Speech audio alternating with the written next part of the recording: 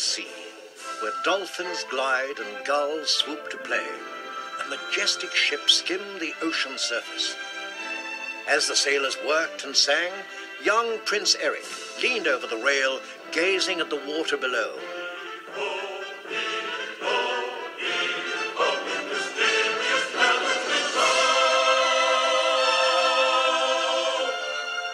While his thoughts floated with the waves, a salty old seafarer hailed him. A fine strong wind and a following sea. King Triton must be in a friendly type mood. King Triton? Why, ruler of the Mer people, lad. Thought every good sailor knew about him. As Eric shook his head, up strode the prince's adviser, a spindly gentleman named Sir Grimsby. Mer people. Eric, pay no attention to this nautical nonsense. But it ain't nonsense, it's the truth. Fathoms below they live. He pointed toward the ocean, but when the three men stared at the water, they saw only a flat, dark surface. From above, they could not imagine sunlight filtering down to the ocean floor, illuminating rainbow streaked fish, flowers swaying with the current, vast reefs and caverns and canyons, or the glittering castle of King Triton, where a special concert was about to begin.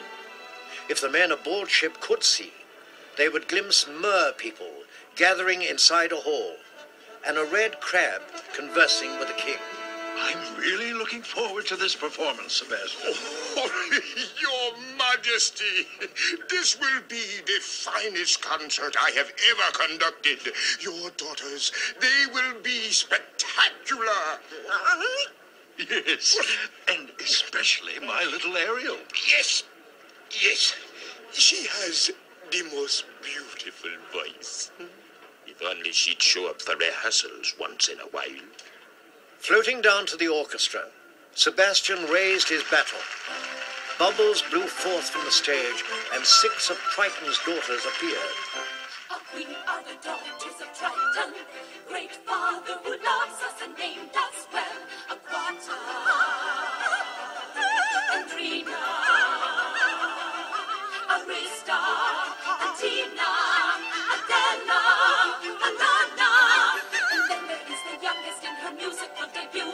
debut. Little sister, we're presenting her to you. To sing a song, Sebastian wrote her voice is like a bell. She's our sister, Ari. They gestured toward the middle of the stage, but Ariel was nowhere to be seen. As her sisters gaped in surprise, Triton sprung from his throne. Ariel! While the king fumed, the little mermaid romped miles from the palace with her companion, a roly-poly fish named Flounder.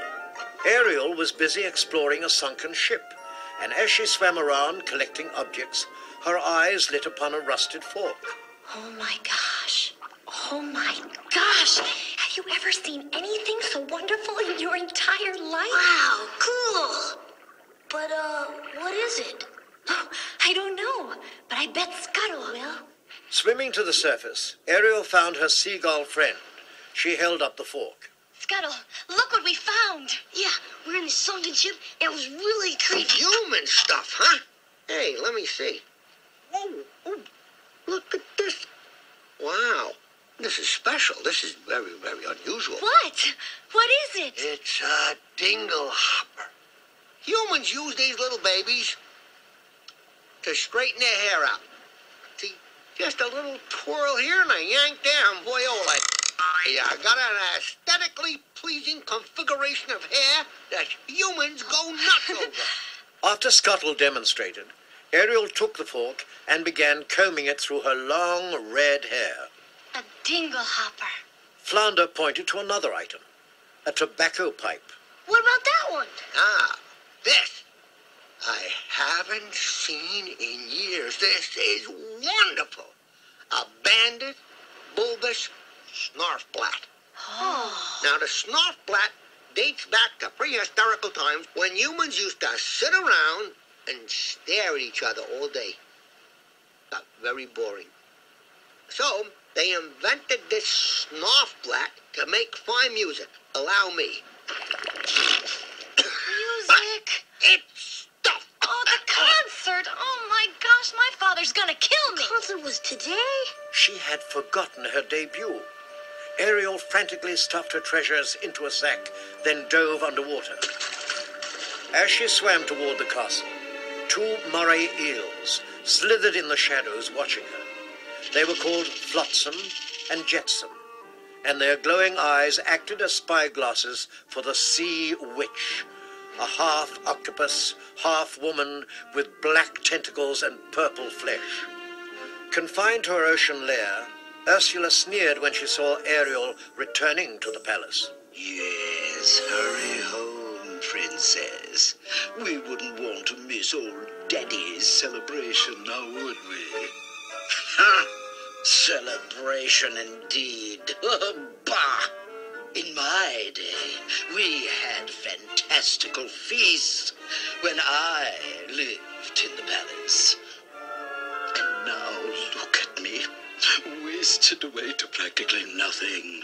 Banished and exiled and practically starving, while he and his flimsy fish folks celebrate. Well, I'll give 'em something to celebrate soon enough. Flotsam! Jetsam! I want you to keep an extra close watch on this pretty little daughter of his. She may be the key to Triton's undoing. As Ursula grinned in anticipation, Ariel hurried into the throne room. Triton was waiting for her, with Sebastian at his side. I just don't know what we're going to do with you, young lady. Daddy, I'm sorry. I just forgot. I. As a result of your careless behavior, Careless and reckless behavior. the entire celebration was. Uh, Well, it was ruined. That's all. Completely destroyed. This concert was to be the pinnacle of my distinguished career. Now, thanks to you, I am the laughing stock of the entire kingdom. Flounder, who had been hovering nearby, swam to Ariel's defense. But it wasn't her fault. Uh, well, first, uh, the shark chases. Yeah, yeah, and we tried to, but we couldn't. And he, and, and we, whoa! Ah, and then we were safe. But then the seagull came, and it was this is this, and that is that, and... Seagull? What? Oh, you went up to the surface again, didn't you? Didn't you?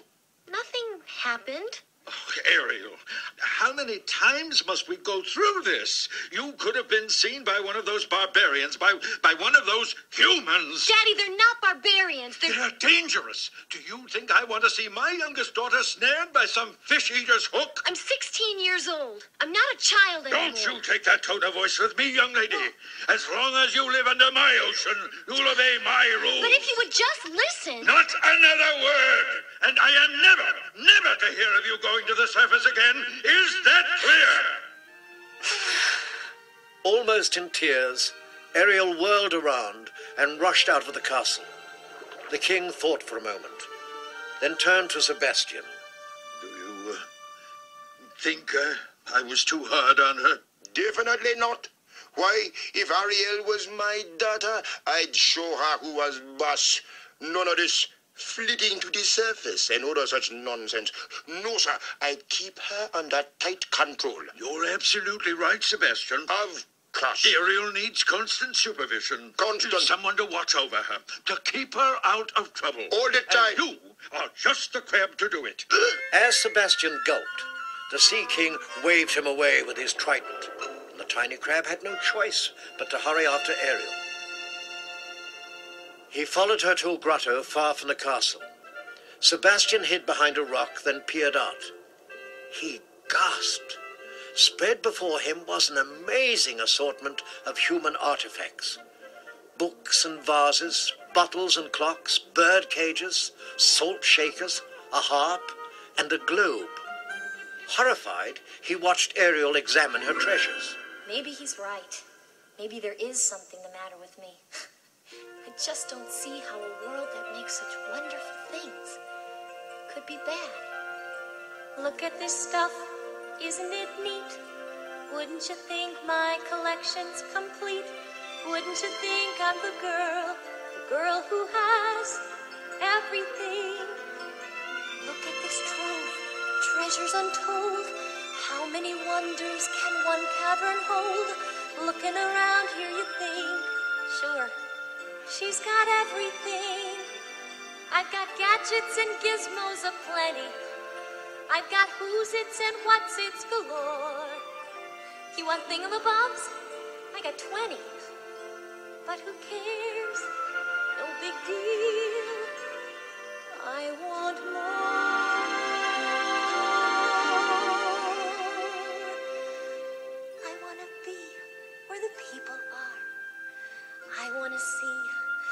See 'em dancing, walking around on those, what do you call 'em?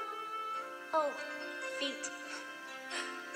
Flipping your fins, you don't get too far. Legs are required for jumping, dancing, strolling along down a, what's that word again? Street. Up where they walk, up where they run, up where they stay all day Wish I could be part of that world. What would I give if I could live out of these waters? What would I pay to spend a day warm on the sand? Betcha on land, they understand that they don't reprimand their daughters. Bright young women, sick of swimming, ready to stand,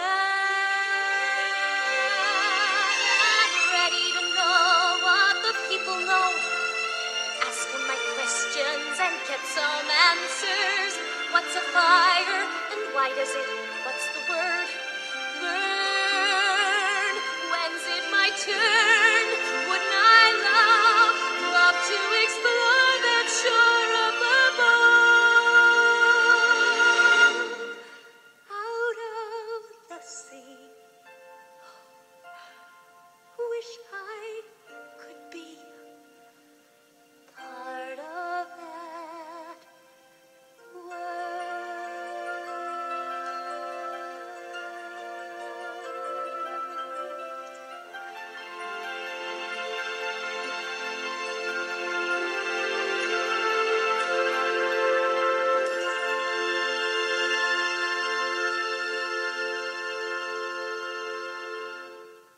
As Ariel looked up at the surface, she saw the bottom of a ship drifting across the sea.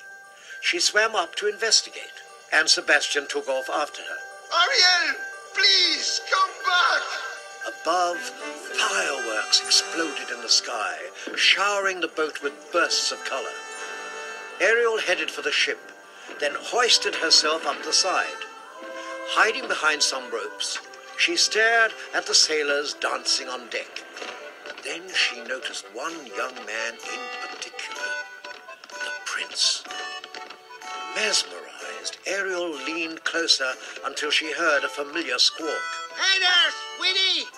Quite a show, eh? Scuttle, be quiet. They'll hear you. Ooh, I gotcha, I gotcha. We're being intrepidatious. We're out to discover. I've never seen a human this close before. Oh, don't know, he looked kind of hairy and slobbery to me. Not that one. The one playing the snarf blast. While Ariel gazed at Eric from her hiding place, Sir Grimsby presented him with a birthday gift, an impressive marble statue. The prince stared at the likeness of himself. Gee, Grim. it's, uh. It's, uh, it's, it's really something. Yes, I commissioned it myself. Of course, I had hoped it would be a wedding present. Oh, come on, Grim. Don't start. Look, you're not still sore because I didn't fall for the Princess of Glowerhaven, are you? Oh, Eric, it isn't me alone. The entire kingdom wants to see you happily settled down with the right girl. Oh, she's out there somewhere. I just. I just haven't found her yet. Uh, perhaps you haven't been looking hard enough. Oh, believe me, Grim, when I find her, I'll know. Without a doubt, it'll just. Bam! Hit me. Like lightning. At that moment, lightning flashed across the sky and raindrops splattered the deck. Out of nowhere came the wind, tearing at the sails and churning the waves into enormous swells. Whoa, the wind's all of a sudden on the move here. Yo! As Scuttle was blown into the air, Ariel clung to the ship's side, straining to see Eric through the pouring rain. When she finally glimpsed him at the helm, the boat heaved violently, and Ariel tumbled into the water. As she fell, a lightning bolt struck the mast. Ariel struggled to the surface. In the distance, she saw the burning ship crash against some rocks, hurling the crew into the ocean. She spotted Eric clinging to a plank and swam frantically toward him. Before she could reach him, he lost his grip and sank underwater. Ariel dove after him. Using all her strength, she pulled the unconscious prince to shore. While she gazed down at him, a bedraggled Scuttle landed nearby. Is he dead? It's hard to say. Oh, I, I can't make out a heartbeat. No, look! He's breathing. He's so beautiful. What would I give to live where you are? What would I pay to stay here beside you? What would I do to see you smiling at me? Where would we walk? Where would we run? If we could stay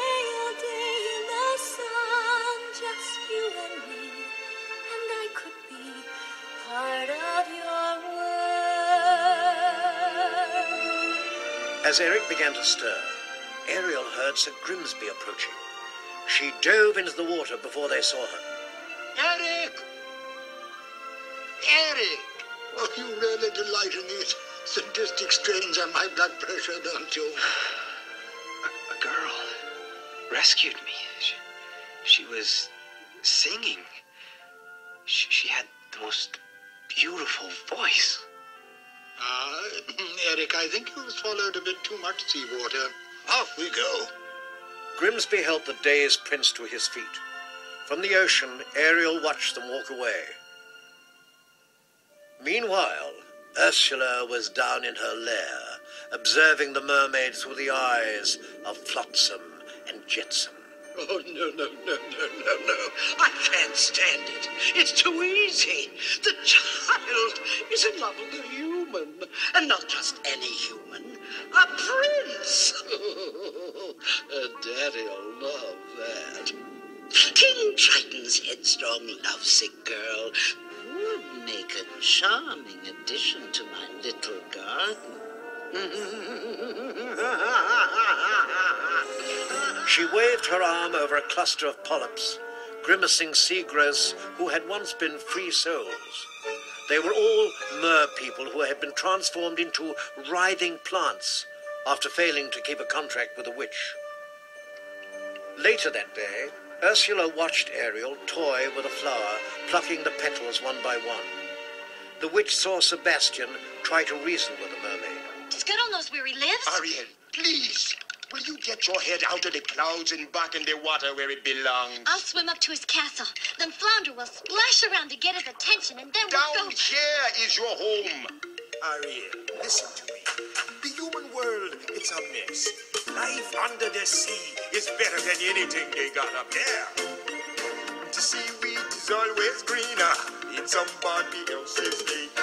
You dream about going up there, but that is a big mistake. Just look at the world around you, right here on the ocean floor. Such wonderful things around you. What more is you looking for? Under the sea, under the sea. Darling, it's better down where it's wetter. Take it from me. Up on the shore, they work all day. Out in the sun, they slave away. while we devoting full time to floating under the sea.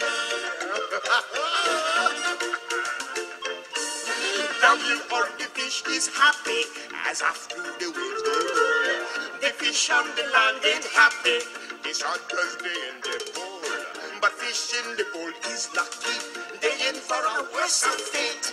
One day when the boss get hungry, yes, you go beyond the pay. But no, under the sea, under the sea, nobody beat us, try us, and eat us in fricassee.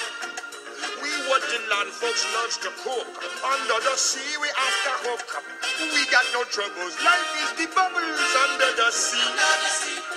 under the sea. Since life is sweet here, we got to be here naturally. Even the sturgeon and the ray, they did the earth start to play. We got the spirit, you got to hear it under the sea.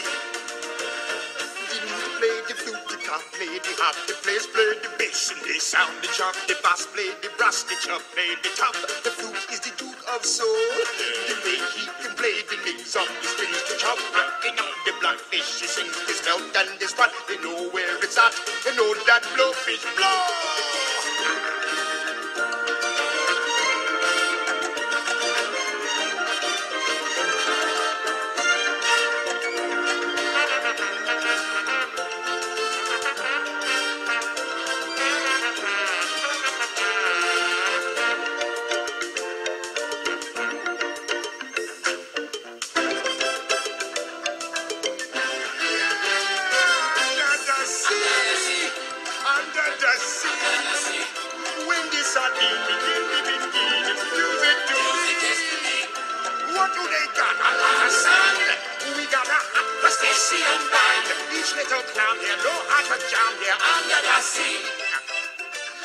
Little cutting a under the sea. Each little snail here know how to here. That's why it's under the water. Yeah, we here under the sea.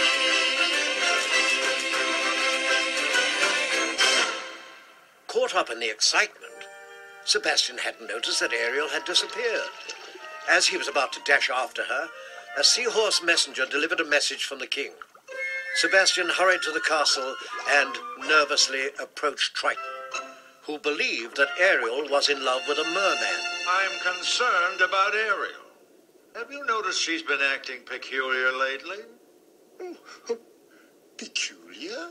You know, mooning about, daydreaming, singing to herself.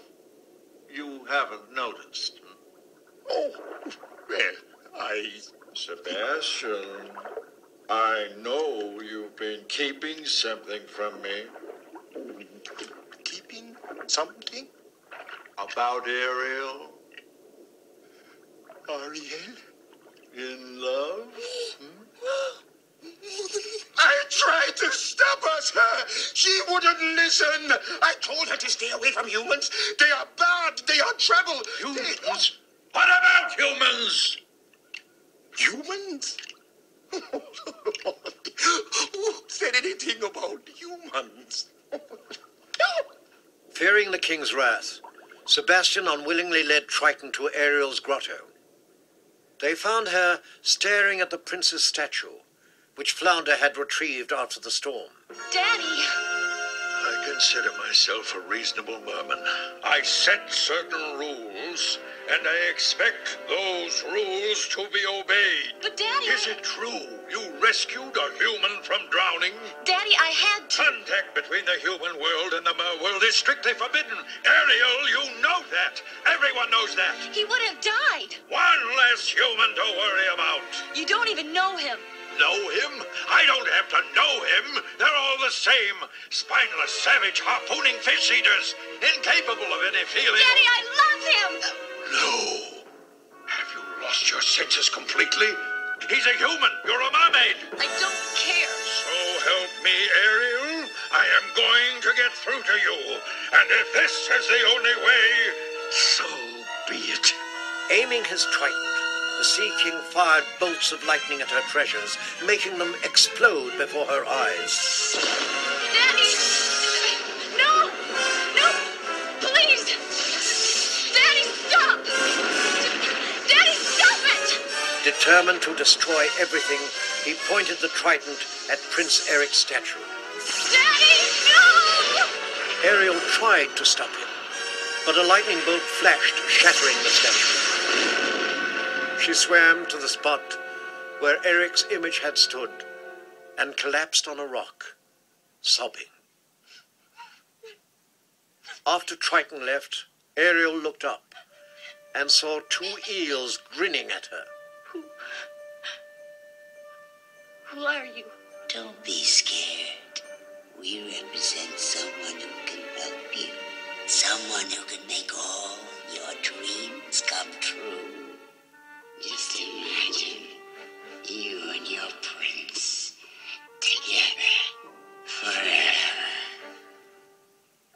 Understand.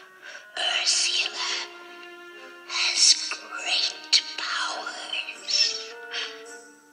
The sea witch? Why, that's. I, I couldn't possibly. No! Get out of here! Leave me alone! Suit yourself. That was only a suggestion. When Flotsam and Jetsam turned away, Ariel glanced at the rubble from the statue. She saw a fragment of the prince's face, and remembering her love for Eric, dashed after the eels. Wait! Yes.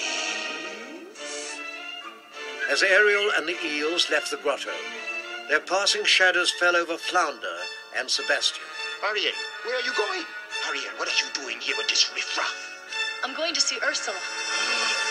Ariel, no! No, she's a demon! She's a monster! Why don't you go She tell my will- father? You're good at that. Sebastian's jaw dropped as Ariel hurried to catch up with Ursula's spies. The crab motioned to Flounder, and the two set out for Ursula's domain.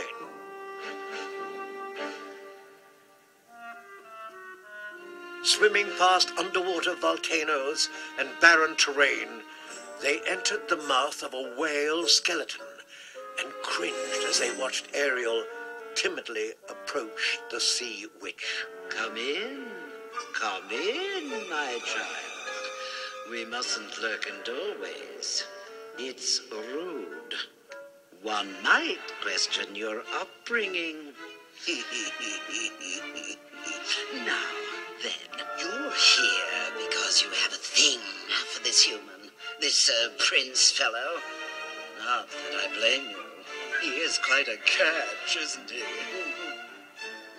Well, angel fish, The solution to your problem is simple. The only way to get what you want is to become a human yourself. Can you do that? My dear, sweet child, that's what I do. It's what I live for. To help unfortunate merfolk like yourself. Poor souls with no one else to turn to. I admit that in the past I've been a nasty. They weren't kidding when they called me, well, a witch. But you'll find that nowadays I've mended all my ways, repented, seen the light, and made a switch. True, yes. And I fortunately know a little magic. It's a talent that I always have possessed. And dear lady, please don't laugh. I use it on behalf of the miserable, lonely, and depressed. Pathetic. Poor unfortunate souls in pain, in need. This one longing to be thinner, that one wants to get the girl, and do I help them? Yes, indeed. Those poor unfortunate souls, so sad, so true. They come flocking to my cauldron, crying, Spells, Ursula, please, and I help them. Yes, I do. Now it's happened once or twice. Someone couldn't pay the price, and I'm afraid I had to rake 'em across the coals. Yes, I've had the odd complaint, but on the whole, I've been a saint. To those poor unfortunate souls. Now, here's the deal. I will make you a potion that will turn you into a human for three days. Got that? Three days. Now listen, this is important. Before the sun sets on the third day, you've got to get dear old Princey to fall in love with you. That is, he's got to kiss you. Not just any kiss. The kiss of true love. If he does kiss you before the sun sets on the third day, you'll remain human permanently. But if he doesn't, you turn back into a mermaid and you belong to me. No, Ariel, don't.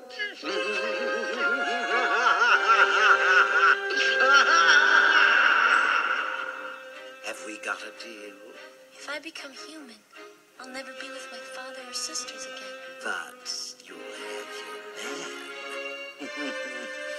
Life's full of tough choices, isn't it? oh, and there is one more thing. We haven't discussed the subject of payment. But I don't have I'm not asking much. Just a token, really, a trifle. What I want from you is your voice. But without my voice, how can I? You'll have your looks, your pretty face,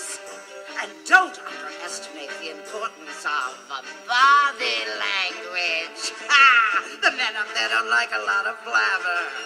They think a girl who gossips is a bore. Yet on land it's much preferred for ladies not to say a word, and after all, dear, what is idle prattle for?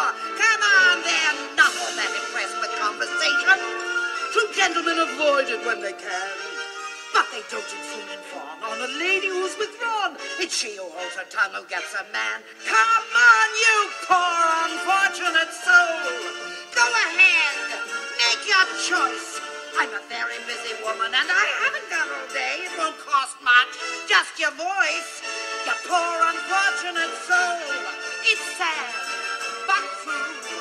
If you want to cross a bridge, my sweet, you've got to pay the toll. Take a gulp and take a breath, and go ahead and sign the scroll. Flotsam jetsam, now I've got her, boys. The boss is on a roll. This poor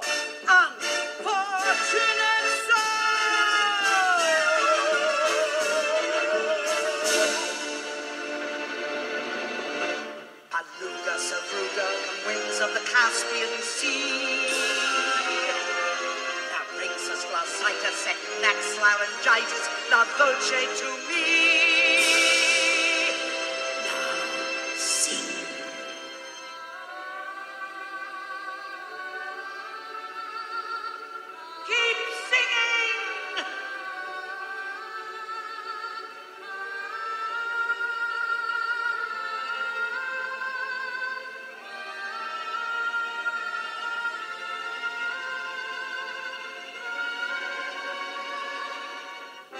After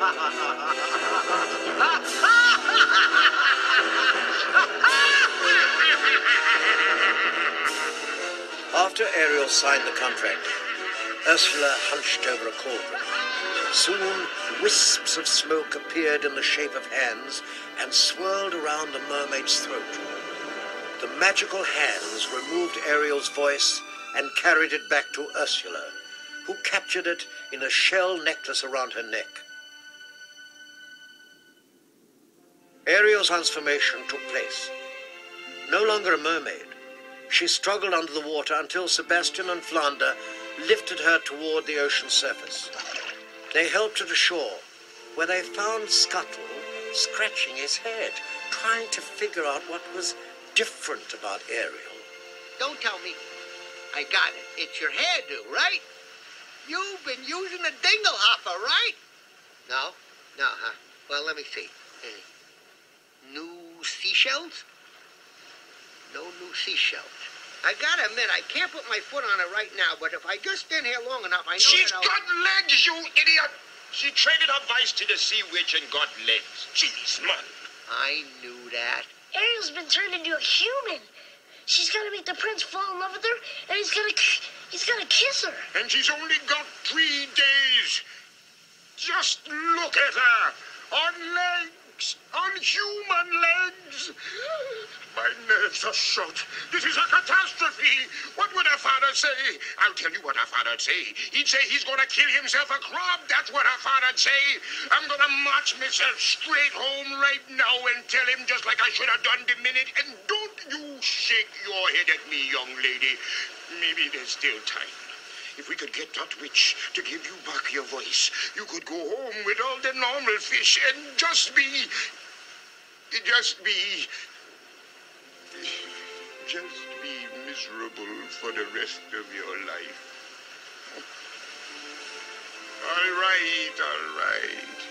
I'll try to help you find that prince. Why, what a soft shell I'm turning out to be. While Sebastian spoke, Scuttle picked up a torn piece of sail lying on the beach. Now, Ariel, I'm telling you, if you want to be a human, the first thing you gotta do is dress like one. Now, let me see. Scuttle draped the sail around her. While she was admiring her human clothes, she was startled to see Eric's dog bounding towards her. The prince ran up after him. Max! Quiet, Max. What's gotten into you, Bella? Oh. Oh, I see. Are you okay, miss? Oh, I'm sorry if this knucklehead scared you. He's harmless, really. As Ariel shied away from the animal, Eric peered at her more closely. You seem very familiar to me. Have we met? Ariel glanced up at him, nodding. We have. I knew it. You're the one. The one I've been looking for. What's your name? She clutched her throat, remembering that she had traded her voice to the sea witch. What's wrong? What is it? You can't speak? Oh. Oh. Then you couldn't be who I thought. Seeing Eric sigh, Ariel vainly tried to use sign language to describe the shipwreck and rescue. What, what, what is it? You're, you're hurt? No, no. You need help. Whoa, whoa, careful. Careful, easy. Gee, you must have really been through something. Don't worry. Oh, Don't worry, I'll help you. Come on. Come on, you'll be okay. When the prince saw Ariel attempt to walk, he slipped an arm around her and escorted her to the castle. Upon their arrival, a maid named Carlotta whisked Ariel upstairs for a bath.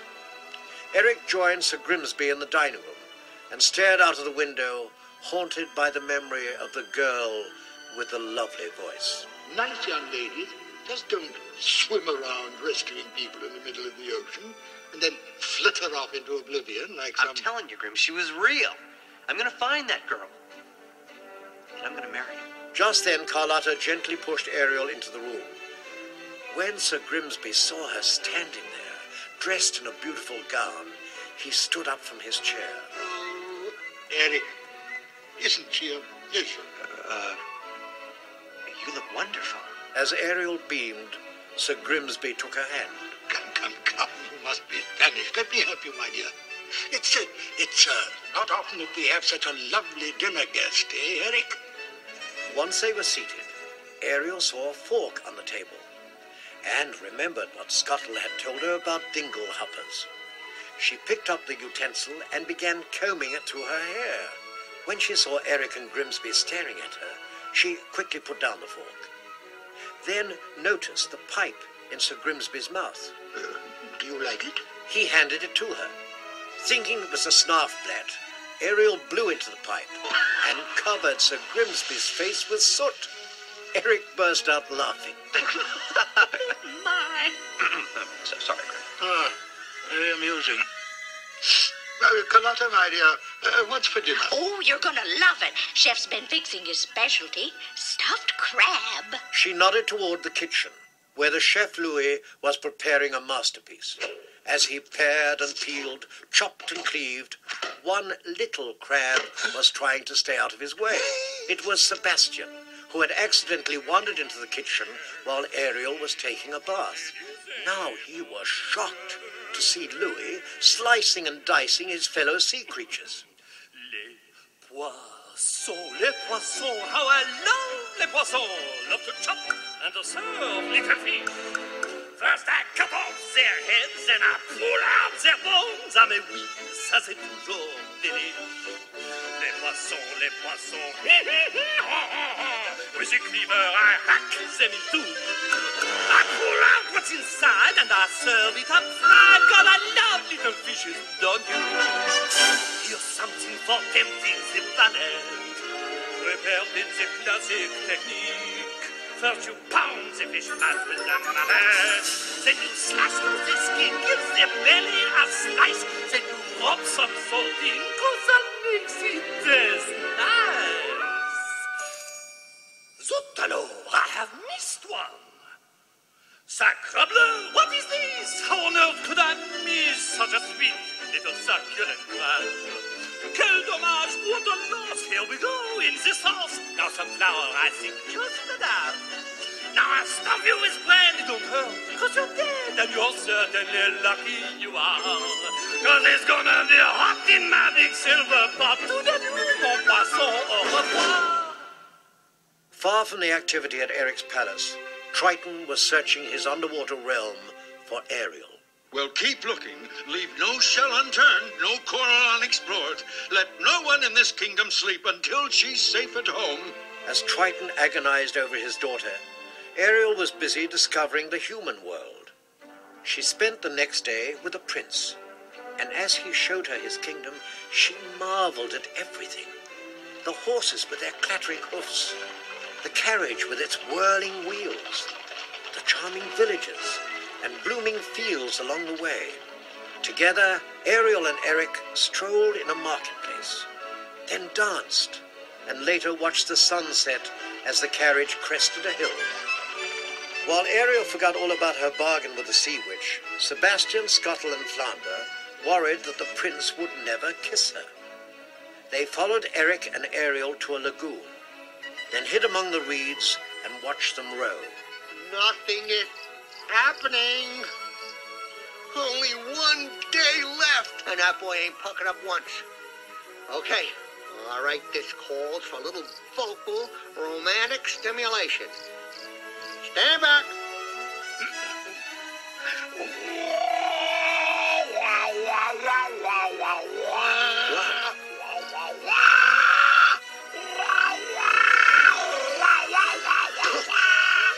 Jeez, man, I'm surrounded by amateurs. You want something done, you've got to do it yourself. First, we've got to create the mood. Sebastian assembled the lagoon inhabitants from frogs to pink flamingos, then nodded for them to begin a serenade. Percussion. Strings. Winds. Words. There you see her, sitting there across the way. She don't got a lot to say, but there's something about her. And you don't know why, but you're dying to try. You wanna kiss the girl. Yes, you want her. Look at her, you know you do. Possible she wants you to. There is one way to ask her. It don't take a word, not a single word. Go on and kiss the girl. Sing with me now. Sha la la la la la, by your mind, look like the boy too shy. Ain't gonna kiss the girl. Sha la la la la la, it that sad, it a shame? Too bad,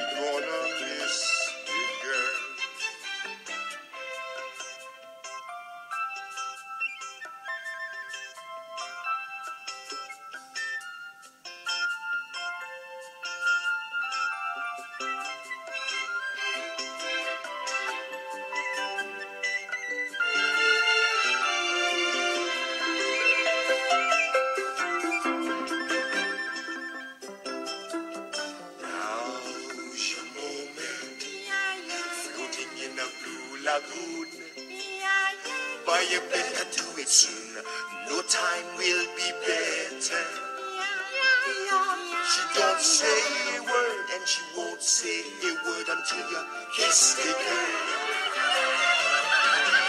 Sha la la la la la, don't be scared. You got to move prepared. Go on and kiss the girl. Sha la la la la la, don't stop now. Don't try to hide it how you wanna kiss the girl. Sha la la la la la, float along and listen to the song. The song say kiss me, girl. Sha la la la la, the music play. Do what the music say. Kiss the girl. You got kiss the girl. Wanna kiss the girl. Gotta kiss the girl. Go on and kiss the girl. Eric leaned closer to Ariel, but as he bent to kiss her, the boat was tipped over by Flotsam and Jetsam, who rose to the surface sniggering. Nice work, boys. That was a close one. Ursula observed the incident from her lair. Too close. The little tramp. Oh, she's better than I thought. Uh, at this rate, he'll be kissing her by sunset for sure. Well, it's time Ursula took matters into her own tentacles. Triton's daughter will be mine. And then I'll make him writhe. I'll see him wriggle like a worm on a hook. She grabbed a magic potion and threw it into her cauldron. Breathing in the smoke, the repulsive sea witch transformed herself into a beautiful maiden. With a shell necklace around her neck, she set off for Eric's palace. At that moment, the prince sat on the castle steps playing his fife and glancing at Ariel's window. Sir Grimsby came outside and put his hand on Eric's shoulder.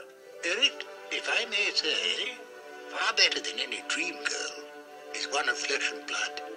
One warm and caring and right before your eyes.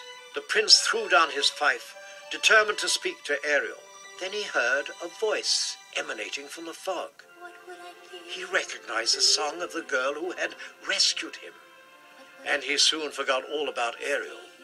He became hypnotized by the maiden with a shell necklace who appeared before him.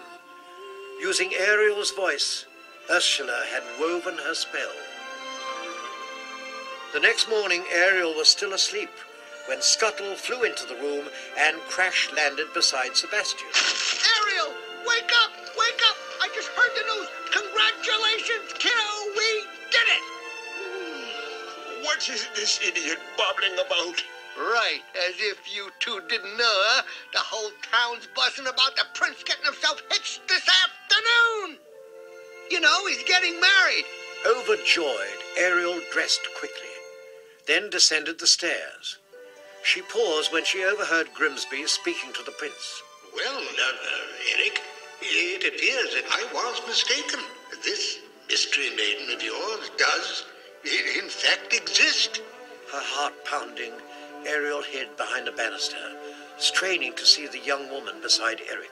And, and, and she is lovely. Congratulations, my dear.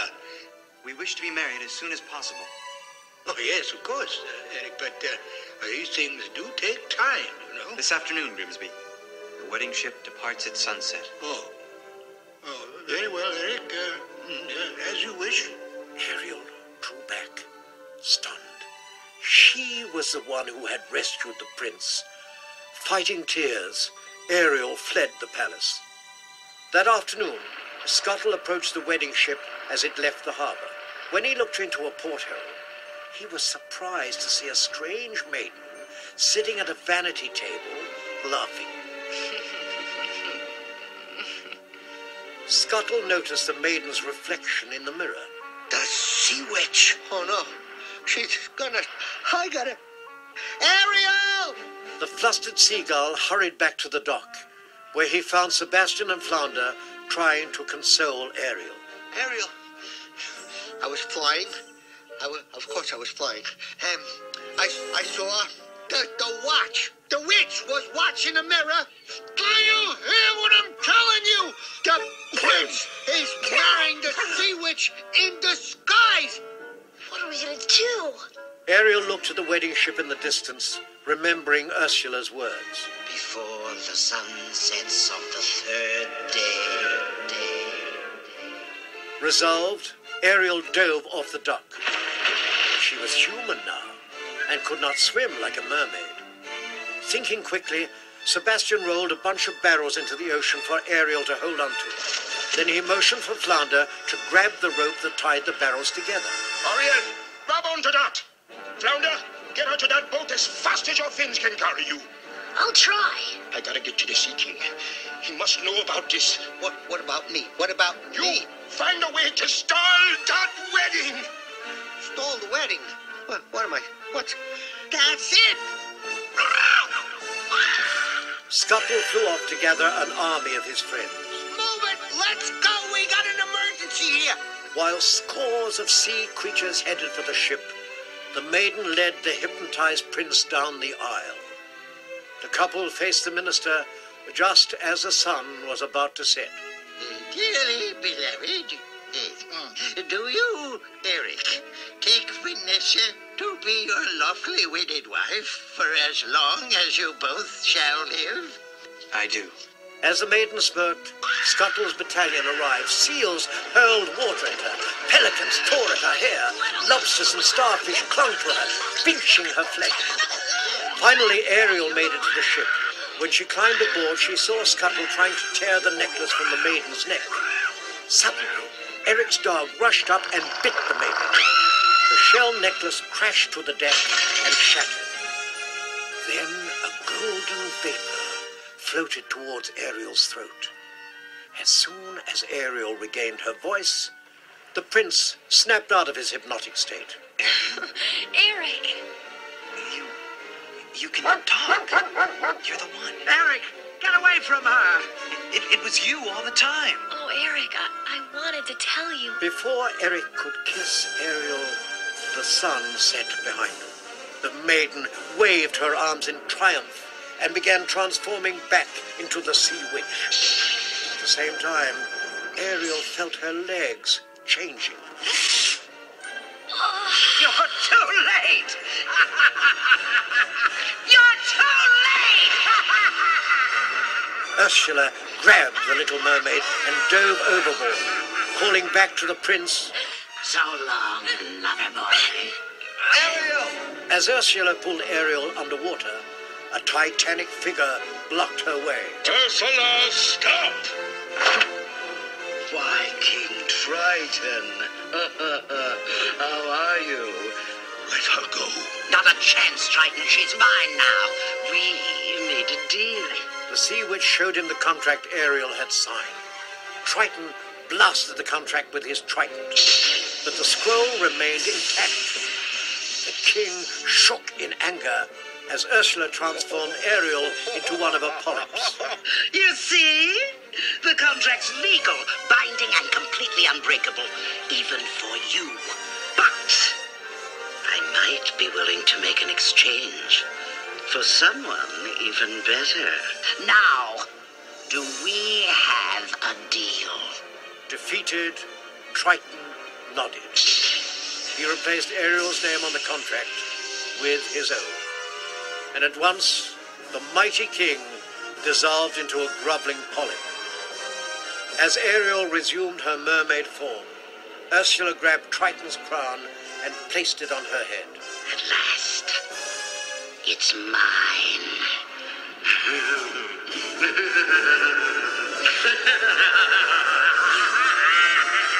You monster! Don't fool with me, you little brat! Contract to Noah Brat! A harpoon had shot out of nowhere and grazed Ursula's arm. It was Eric swimming above her. The witch's eel sped after him. Eric, look out! Before the prince could climb onto a boat, Flotsam and Jetsam dragged him underwater. Sebastian and Flounder saw the commotion, and the crab clamped his claws down on their tails, while Flounder hit one of the eels over the head. The furious vipers released Eric to chase after them. When the sea witch saw Eric alone, she aimed the trident at him, glancing back at Ariel. Say goodbye to your sweetheart. Ariel lunged at Ursula, knocking the trident loose. It misfired and blasted Flotsam and Jetsam. As Ariel hurried to join Eric, the enraged sea witch began spouting black ink. The pool spread to the ocean surface, surrounding Ariel and the prince. Eric, you've got to get away from here. No, I won't leave you. Before they could get away, Ursula's colossal head emerged. The sea witch had grown into a giant monster, and she leered down at them, smashing her tentacles into the water. You pitiful, insignificant fools! Now I am the ruler of all the ocean. The waves obey my every whim. The sea and all its spoils bow to my power! Using the trident, the witch stirred the sea into a deadly whirlpool. As Eric and Ariel became separated, dozens of sunken ships dislodged from the ocean floor and rose to the surface. When one ghostly galleon sailed by Eric, he grabbed a rope and pulled himself aboard. As he staggered to the helm, he saw Ursula towering over Ariel, the trident poised in her gargantuan hand. So much for true love! She brought her arm back, then glanced over to see a ship speeding straight toward her. At the last moment, Eric steered the bowsprit into the witch, stabbing. Ursula writhed and squirmed. Lightning flashed across the heavens as her body sparked and sputtered, then disintegrated into a gelatinous mass. Moments later, the witch's glowing remains trickled down to her domain, where they dusted the polyps in her garden. The plants magically transformed back into mer people, and the freed souls swam away. One polyp remained, King Triton's. Now that Ursula no longer wielded the trident, it sunk underwater to complete the metamorphosis. It gently touched the one remaining polyp, and the Sea King emerged, restored to power. After the waters calmed, and the gulls began to circle, dolphins glide through their ballet, Triton went in search of his daughter. He found her on the surface, sitting on a rock. She was gazing at Eric in the distance. The king turned to Sebastian. She really does love him, doesn't she, Sebastian? Hmm. Well, it's like I always say, Your Majesty. Children got to be free to lead their own lives. You always say that? oh. Then I guess there's just one problem left. And what's that, Your Majesty? How much I'm going to miss her. He pointed the trident at Ariel, and a glowing mist drifted toward the mermaid. It engulfed her, and within moments she became human. Ariel glanced down at her legs, then looked back at her father, and smiled. The king and Sebastian watched as she emerged from the ocean into the prince's embrace. Soon after, Eric and Ariel were married on board the wedding ship. The couple turned toward King Triton, who had been watching the ceremony from the ocean. Eric bowed, and Ariel blew her father a kiss. Then the king waved his trident, and a magnificent rainbow appeared, spanning the sky above all who walked on earth and all who swam the sea.